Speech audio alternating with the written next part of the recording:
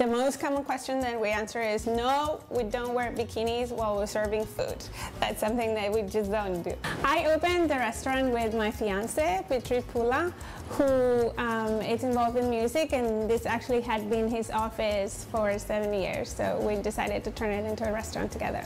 I lived in Spain for five years in Barcelona and I learned a lot about the food and the culture and totally fell in love with it. Before we opened the restaurant, I worked as a fashion designer for 10 years. Being in a restaurant is just every day different people, every day different experiences. It's a lot more interactive and it's a lot more fun. It just seemed natural when we decided to open the restaurant. It just seemed like, yeah, great.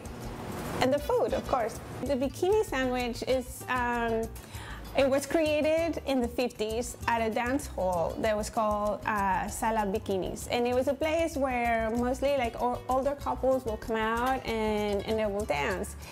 So they wanted to offer a bite to eat to all those dancers and they came out with their take on the croque monsieur which they call the bikini and the bikini uh, it was a name that came out obviously from, you know, the, the bread that's cut in uh, half and it makes the shape of the triangle and it's similar to Bikini Bottom. And they thought it was a catchy name, and it was because it's slowly spread out through Barcelona. And nowadays, you can go into any cafe in Barcelona, ask for a bikini sandwich. A lot of things that we bring from Spain, like some beer, some specialty beer, uh, the Estrella. We have the theme of Estrella throughout the whole restaurant. We have little stars for our takeout, little stars in the glasses. So that's something that is very reminiscent of what you would find in Barcelona.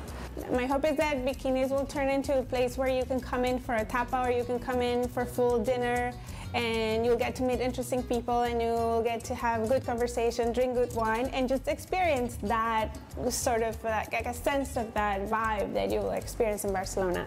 That's, that's what we're looking for. If someone asked me 10 years ago, would I be doing a restaurant later, I would have never, I would have never imagined that I'd be like, oh, you're crazy. I was so involved in fashion.